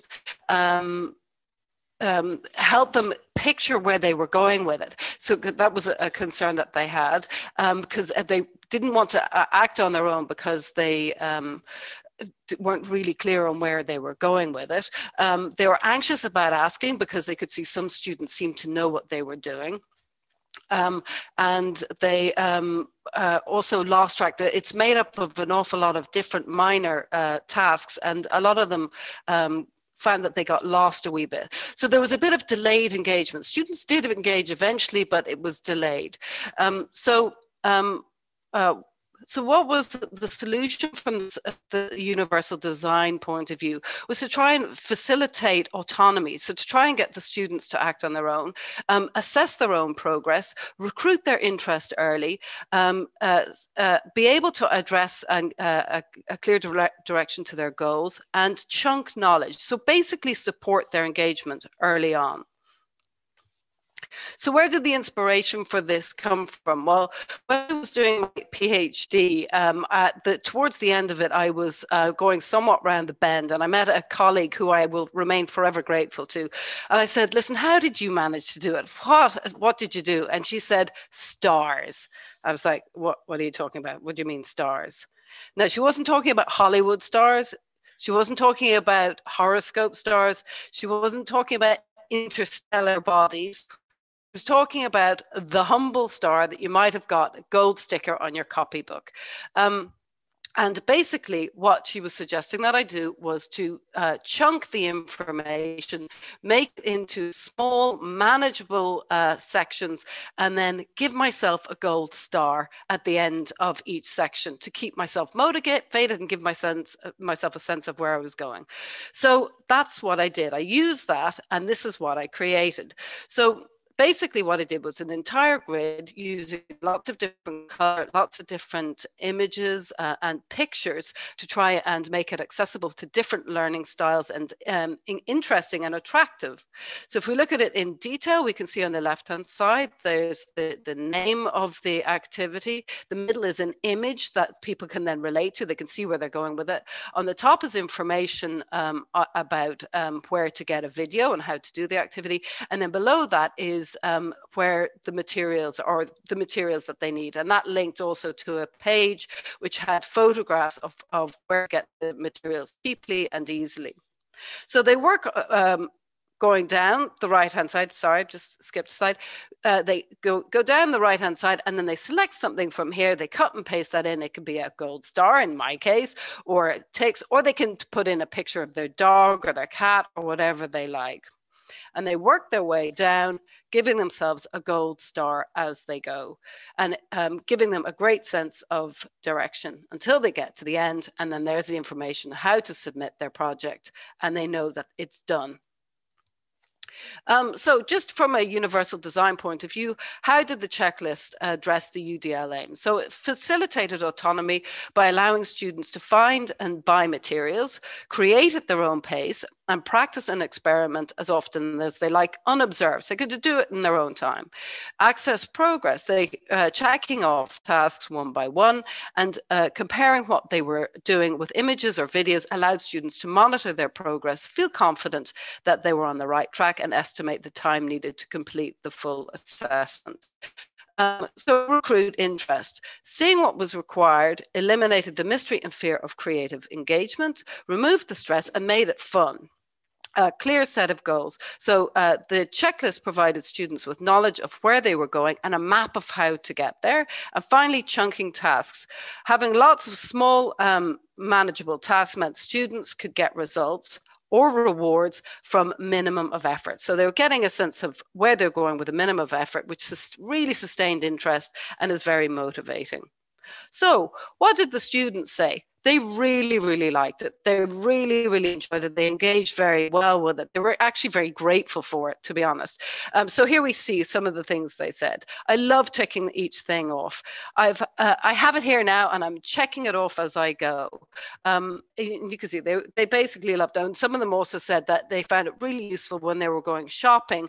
They didn't have to open up a video or a lecture or anything. They could literally download it onto their phone, and they could buy the materials that they needed. So from my point of view, um, one minute left of students. Thank you. Uh, uh, students' creativity was still very much engaged. They really, really did create very well. They found it very motivating.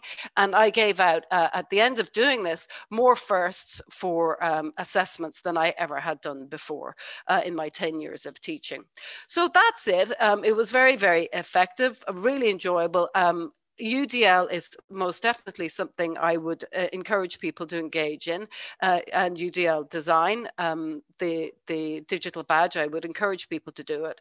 Um, I would also just like to acknowledge uh, Dr. Tamsin Cavaliero at this point, who is my graphic facilitation lecturer, and I would urge anybody who is interested in doing UDL to consider uh, dovetailing it with graphic facilitation because they really work and so are very um, they, they work very well together. So thank you very much uh, for listening to my presentation. Um, and if anyone's any questions, I'd love to hear them. Thank you. Thank you very much, Natalie. Um, all I'm seeing is loads and loads of feedback in the, the chat box. Everybody absolutely loving the graphics. Um, I loved particularly, personally, I love the slide on engagement, you know, like the student engagement and that. So I think you've really captured everybody's attention here in the audience. And I think you're going to have probably a lot of people following up with you in relation to that. One question that I'd like to ask would be, um, were the students involved in the redesign process? Could you talk to us a little bit about that? Yes, they absolutely were. Well, basically, what I did was initially I, I asked the students, listen, I'm thinking about doing this. I, I basically said, the design came, as I said, from concerns that I uh, students had addressed to me over the years. And I thought, how am I going to do? It? And then I suggested to the students, this is what I'm proposing to do. And at each stage, I showed them and I said, what do you think? Do you think I should adjust it? And some of them made suggestions, so I would adapt it. So it was kind of adjusted and adapted until the end point. And I, I, I think on the kind of survey that I did, about 97% of the students said that they thought it was brilliant. Um, so I, I was delighted. They and um, yeah, very much so. They were uh, they were involved in the whole process. Wow, that's amazing feedback and very um, uplifting as well for you. You know, yeah. in terms of your role, it's brilliant. I have a question here. Somebody's asking about the. Can you please tell us more about the graphics facilitator and how you worked with him or her? That's from Adrian O'Mahony. Okay, um, the, um, I believe CELT is, um, was involved in this too. Um, Tamsin Cavaliero is a, a, staff member at IT Sligo, and she um, has just delivered a, a, a, or yeah, we've just completed a digital badge in graphic facilitation, and um, basically showing you how to communicate uh, messages using imagery rather than words, or a combination of both. And I have to say, it's really, really effective. It's really enjoyable. As someone who is has a background in art as well, I found it really is a great way to combine uh, art and lecturing and discussion. But one of the things I would say is you do not have to be good at drawing to do um, graphic facilitation. Really you don't. Uh, um, it's very simple and you can build your skills very quickly. So it's a very effective way of communicating information. Thank you very much. And I see um, you have generated a lot of interest in relation to the UDL badge. So the National Forum, we're going to be very, very pleased with you and the AHEAD in UCD.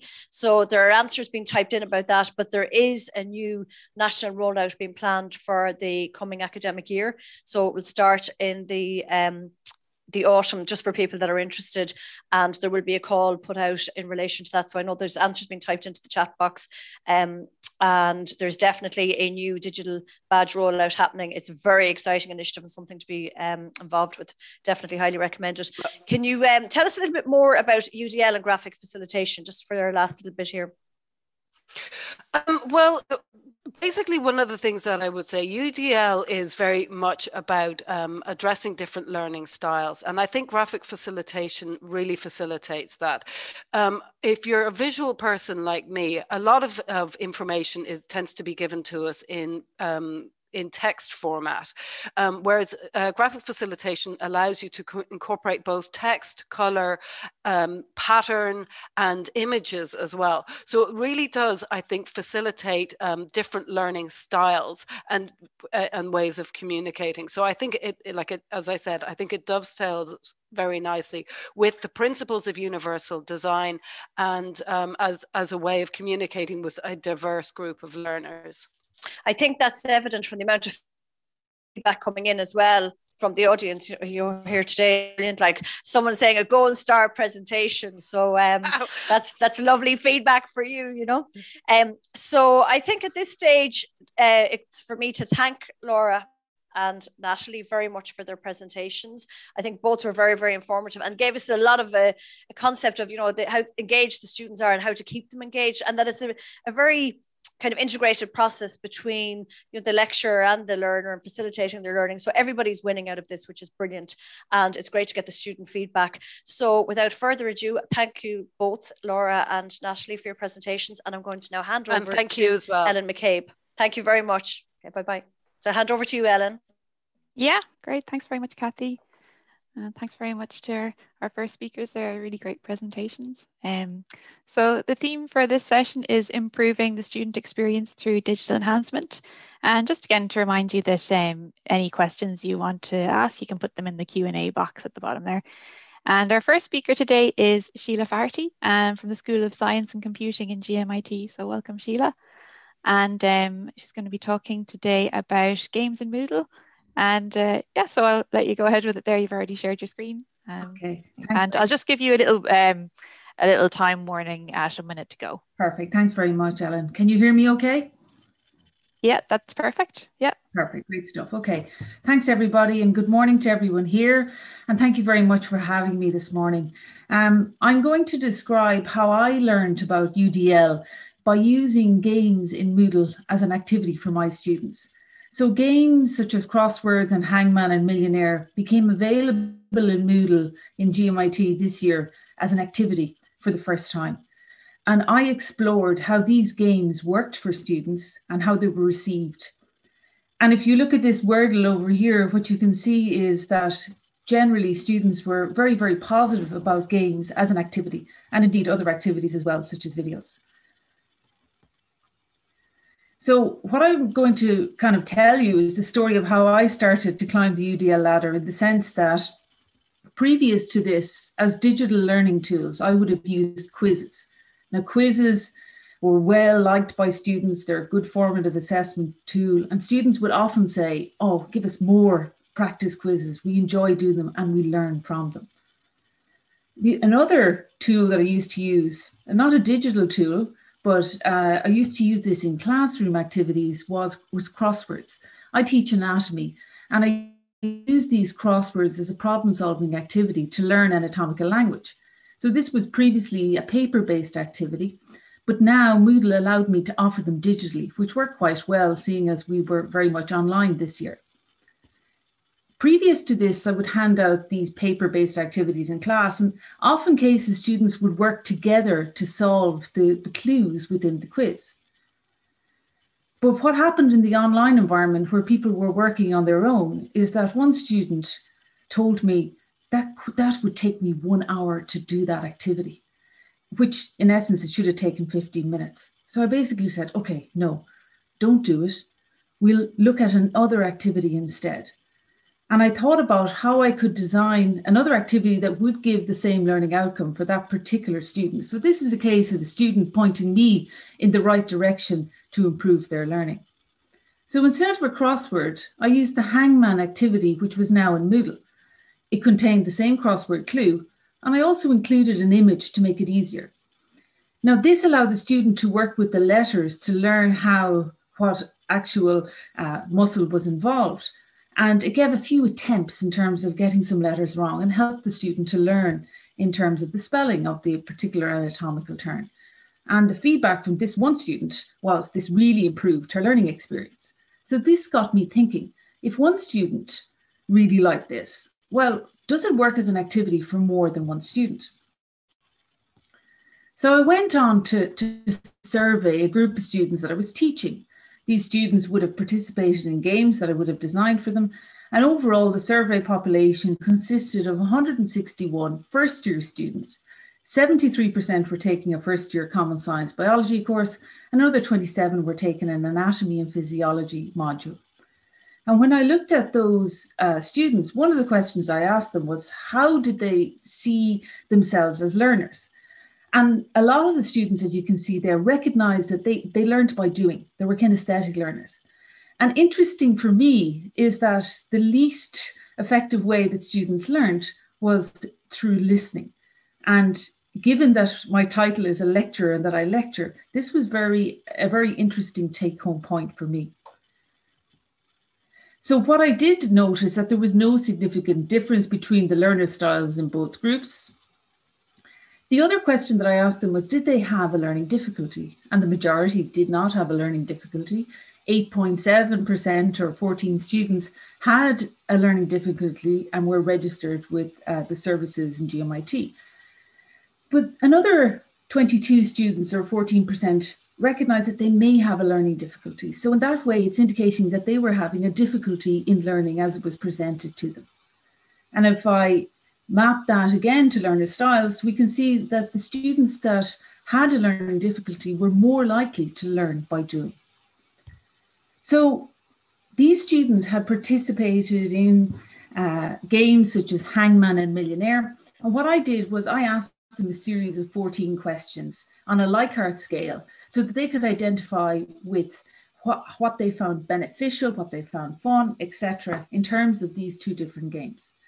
Now, instead of showing you the 14 different results, what I've done is performed what is called a principal components analysis, which analyzes and correlates variables between these 14 questions and tries to explain the entire student account that was given within these Likert questions into a more succinct solution. So these 14 variables were distilled into three factors, which I'm going to show you in a moment. And for those of you familiar with PCA analysis, there was a very good measure of sampling adequacy of 0.859, and the Bartlett's test of sphericity was also very good. So the three components that came out from the 14 different uh, questions that were asked was that there was a large component of the students who actually uh, were enjoyed the millionaire game. So they were motivated to get a good or perfect score in the game. It was a good learning tool for their style of learning. They enjoyed it, it was fun. And it helped them in learning the anatomical and biological jargon that was presented to them within the game. They enjoyed that images were embedded in the game to help them uh, link the structure to the spelling.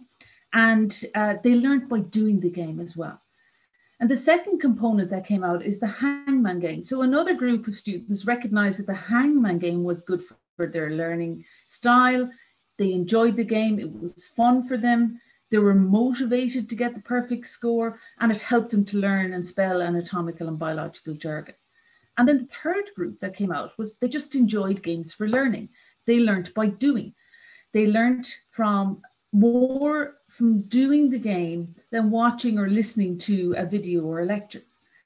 And they enjoyed them, they were fun, and it again, it helped them in learning that anatomical jargon. So overall, what the story for me is that this one student allowed me to focus on what the general population might enjoy as a game. And therefore, it changed in terms of what I considered to be um, the problem. So I considered the problem to be what that one student who had a learning difficulty identified for me, saying on, in an online scenario, a crossword didn't work for me and it took too much effort and ge didn't generate the outcome that I intended for that student. So I had to generate a new idea for that student. And what I learned from this is that all activities are not equal and that there are a variety of activities improve the learner experiences overall. And the students really learn by doing and not necessarily by listening. So, what I learned from this experience and going through this path in terms of universal de- design for learning is that in the future, what I will do is something like Laura was mentioning. Just one minute morning, there, Sheila. Is to offer students um, a variety of ways to engage with the material that I would like them to learn and therefore improve for them their experience with learning and have a range of activities that uh, help them achieve the learning outcomes that we want them to achieve. So for me going forward, I will be implementing more universal uh, design for learning, more games and more activities to help the students uh, with their, their learning. And uh, that's the end of my presentation. I'm very happy to uh, receive any questions. Thanks very much, Sheila. Really interesting. Um, I think it really kind of underlines what we've been talking about the kind of importance of the student voice and uh, communication. And it's just like really uh, interesting the way you managed to involve students in your kind of teaching process and get them to sort of reflect on their own learning. Um, so um, if you want to uh, just stop sharing your screen there, and I guess we'll have a look at some of the questions. Okay. Um, so one of the questions um, is regarding the Millionaire game. So um, is that a plugin that was installed on Moodle from the standardized list of plugins on moodle.com? Yeah, this is something that only became available to us this year.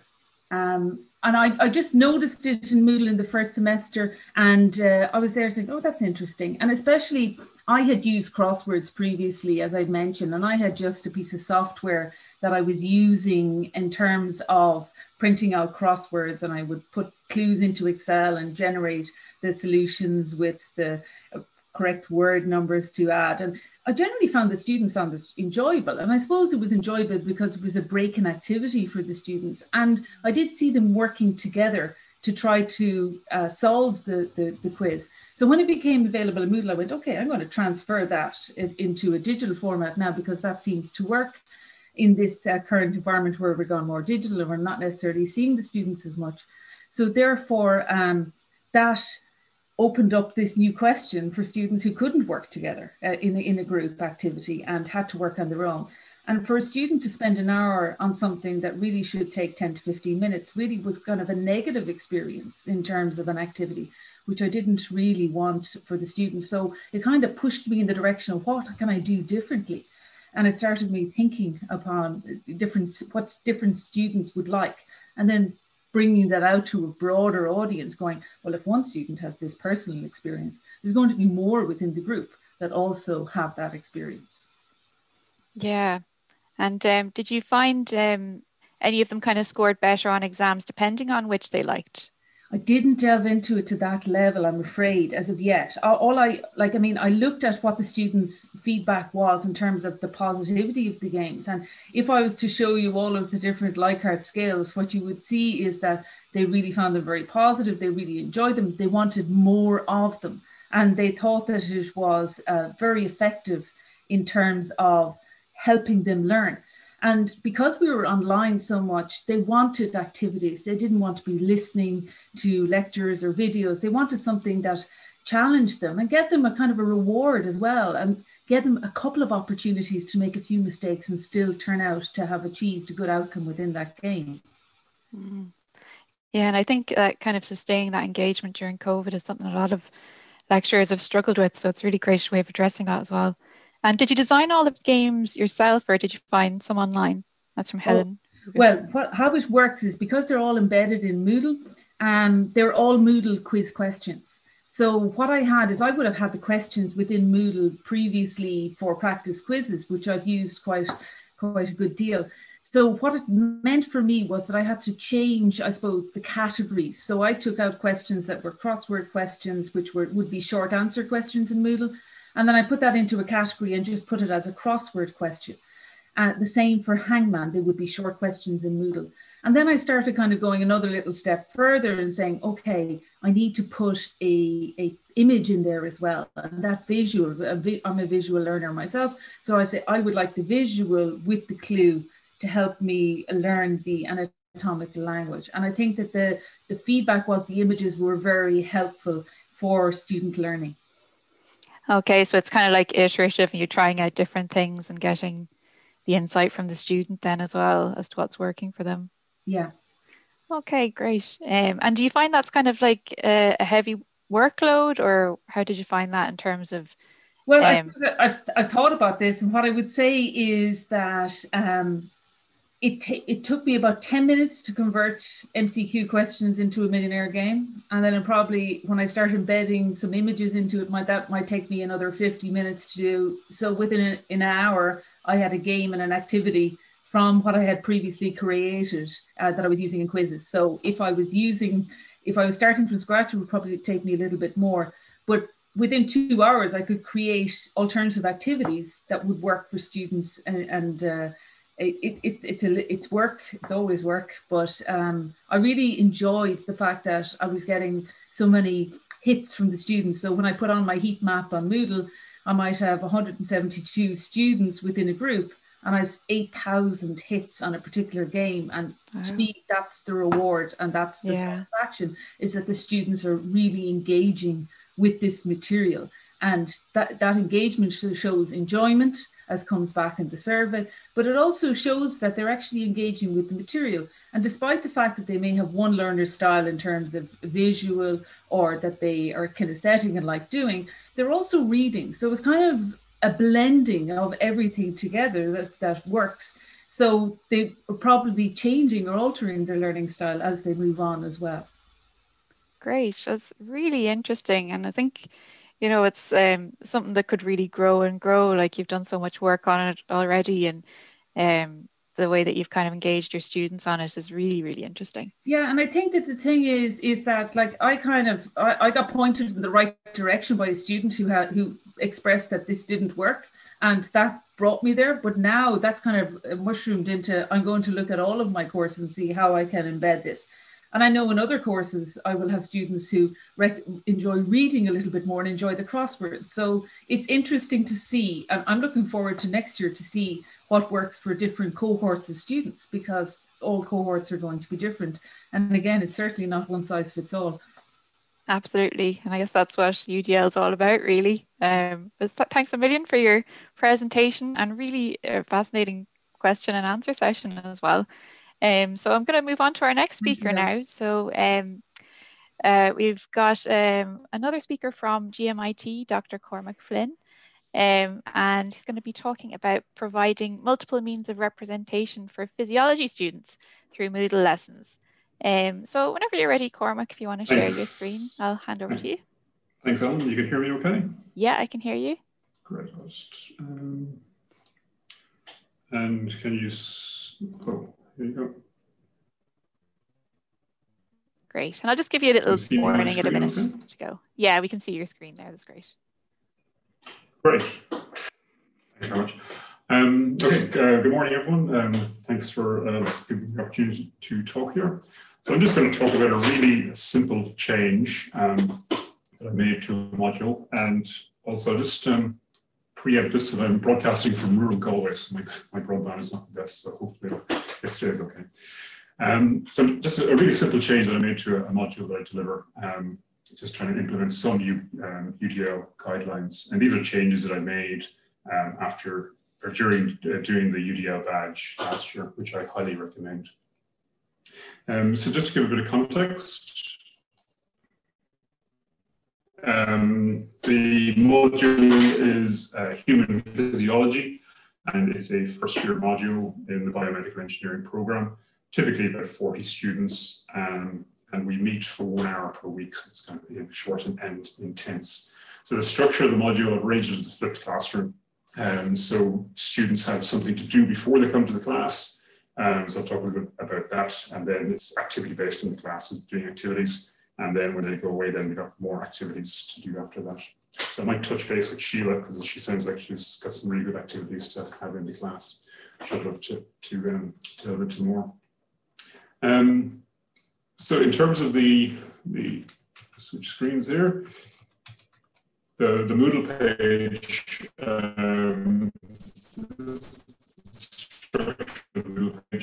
um, just just information module, introductory video, uh, just giving um, a tour of the Moodle page so students can come oriented. Um, the, the topic so uh, kind of structure of the module, it's arranged around four learning outcomes. So there's topics within kind of around the heart, digestive system, nervous system, and tissue types and function. And then if you dive in, so they spend a few weeks in the nervous system, for example. Um, so when they click on the nervous system, they got a, a, bunch of different topics on the nervous system. And so each topic takes one week. Uh, we spend one week in each topic. Um, and the structure of each page is the same, similar template for each page. So the top of the page is some learning outcomes on what they're going to cover that week. Um, there's the pre-class activities. So typically they do Moodle lessons. I'm going to talk about that in a minute or so. Um, in class, then we have some uh, activity. Um, and then when they finish the, the hour that we meet, they've got some post-class stuff to do. And that might take the form of a Moodle quiz, just testing them on what they've done that week, or they work on an e-portfolio and kind of reflect on their learning. So, um, so they do a Moodle lesson. Um, so if we click into the communication ion channels and resting membrane potential, so they have to do this before they meet um, in the class. Um, so the Moodle lesson is a mixture of uh, content and um, and uh, questions. So students, so this is a, a, a section of a, a, lesson from uh, on the heart. So they read some content, uh, or there might even be a YouTube video and uh, watch and, they answer some questions on that content. The stuff is chunked, so they read a little bit of content, work their way through the Moodle lesson.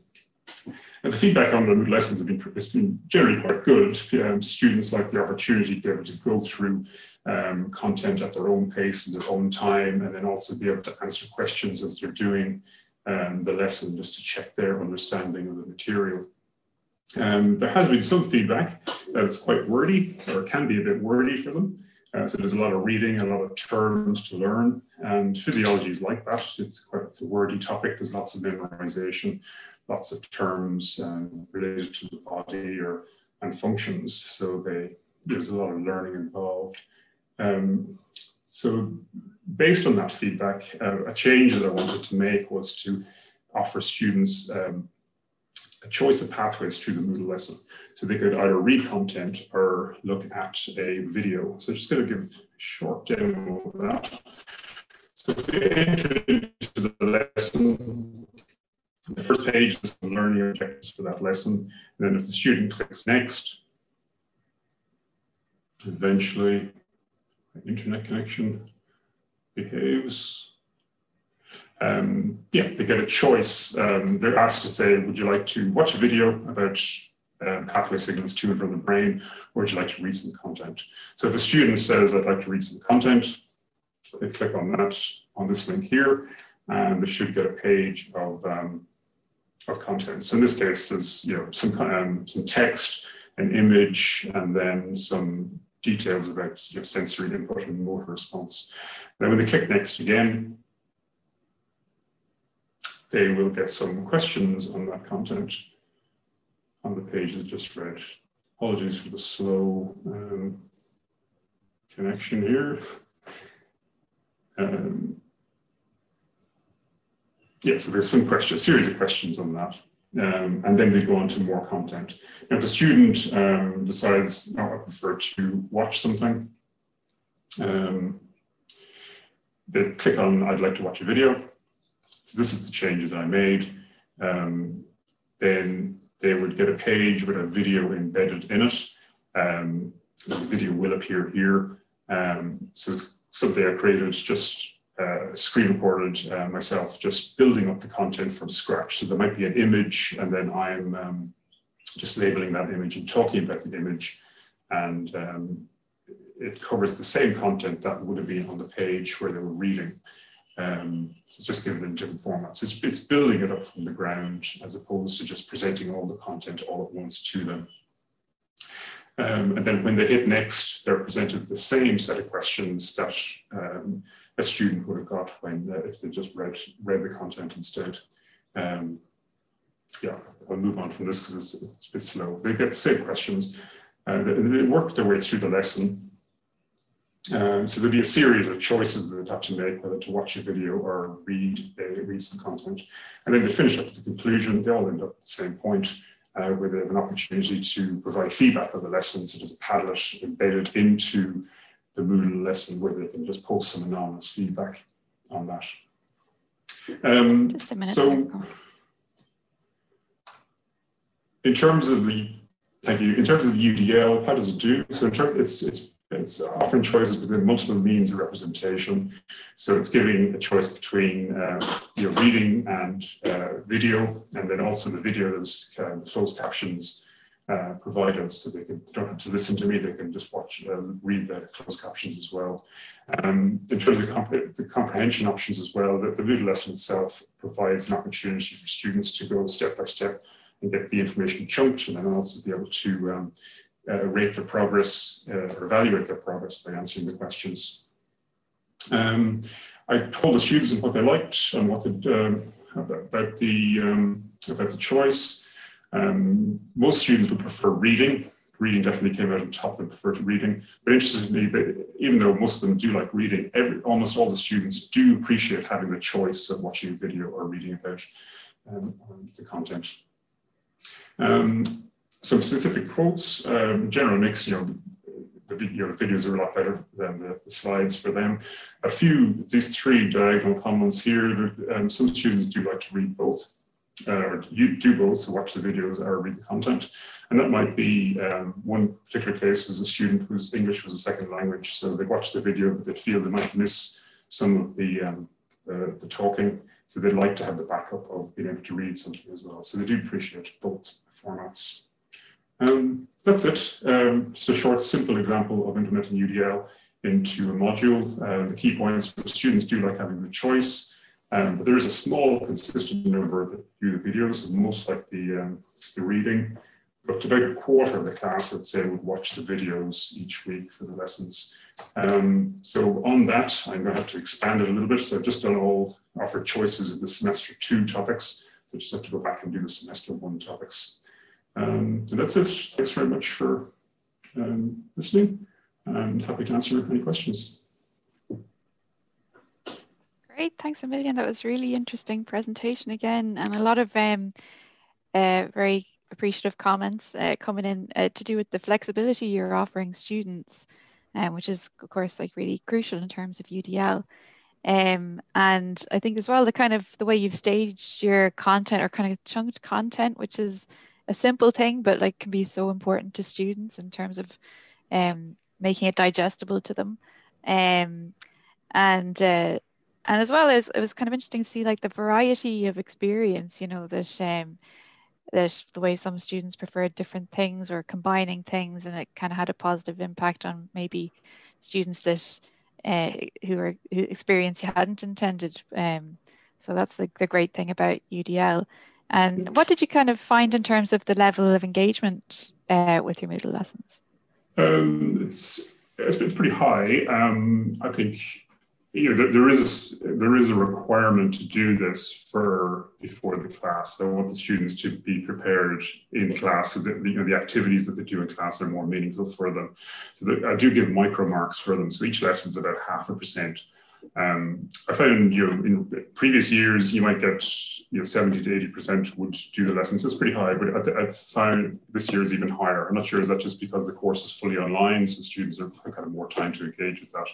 Um, generally, it, it also requires um, a little bit of effort at the start of the year to follow up on students who aren't who aren't engaging with the, the lesson. So generally, each week I would send emails to anybody who hasn't haven't um, haven't got it completed. But you know, certainly by the end, the middle of the semester, middle of the first semester, towards the end of the first semester, you know, most students are engaging with it and realize you know, they appreciate the the value of of um, getting the content before the actual, actual meet, actually meet in the class. So it's a, a more um, engaging hour. It's, it's, only an hour, so it's pretty short. Um, so if you're not prepared, you're gonna um, you blink and you'll miss that class and mm. get no benefit from it.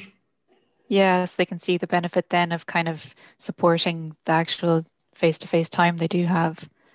Yeah. Um, just a, a question in there. Would you use um, videos from Khan Academy or do you record all the videos yourself? I record all the videos myself. Um, like in the lessons, there are some video. I do like the Khan Academy definitely. Um, there are some uh, YouTube videos embedded in the in the I guess the reading part, the reading option. So they can still watch videos, um, but any of the you know the alternative pathway where I um, offer you know, the video is is me talking and building up the content from scratch. Um, yeah, I, I, think there's a benefit to having it. You know, gets hopefully it gets the students to know me a bit more just by listening to me, just delivering the content um, as opposed to um, yeah somebody that they're not they don't know from the from the web. Yeah, and I suppose that is a huge thing, especially at the moment. You know that kind of connection with the students and um, you know, it's well as a challenge for everyone, the kind of personalization and building relationships, but um, anything that can kind of support that. But what did you find was kind of the biggest challenge in terms of implementing alternative path uh, pathways in the lessons? The time, just the time. Uh, initially, um, I think when I started doing the videos, you kind of agonize over little details, and you spend you spend way too much time trying to make a perfect video, which is never going to be the case. Mm. Um, but I think over time, you kind of um, you, it just you know it doesn't matter if you've got mistakes in the videos, you can just correct them as they go along. And I think students might appreciate that kind of that human aspect that we we make the mistakes and we we forget certain terms and we correct ourselves, and that hopefully students can kind of take heart from that that it's okay to okay to fail. So um, it, with that, then it actually required less time to make the videos as you go along because you're not spending the agonizing over edit, editing and um, things like that. Mm, yeah, that's very true. I think a lot of us can probably relate to that, especially if you're kind of starting out making digital content. Kind of letting the perfect be the enemy of the good is a huge thing. And you're right, you know, like I think students can appreciate the kind of human side. If you make a few mistakes, it's not a big issue. It makes it more authentic. Yeah. Um, um, the advantage of the videos, then, you know, they're good for a few years. So it's not something I'm going to have to go back and change for a while. Um, mm. yeah. my voice yes. and face changes dramatically. um, yeah. Yeah, it's kind of a good investment then. um, in terms of time. But uh, yeah, you're getting a huge amount of um, confidence in the chat there, um, just on um, the the level of flexibility and the quality of the content you're providing to students, and um, so it's great. A little bit of inspiration there for people, I think. Um, yeah, it's, it's a simple change. Uh, uh, you know, recommend, and I, will plug the, the UDL badge um, from the National Forum. It's, it's, this is it definitely gets you started in thinking about UDL for sure. Yeah, brilliant. So yeah, so that uh, thanks a million for that. Um, really, really interesting presentation and great uh, uh, questions and answers as well. Um, so um, just yeah, thank you again to Dr. Sheila Faherty and Cormac, Dr. Cormac Flynn. Um, and that kind of concludes our, our morning session. So we're going to have a short break now. And the next session is um, learning through COVID-19, flipping the classroom using UDL, and that's going to commence at 12 o'clock.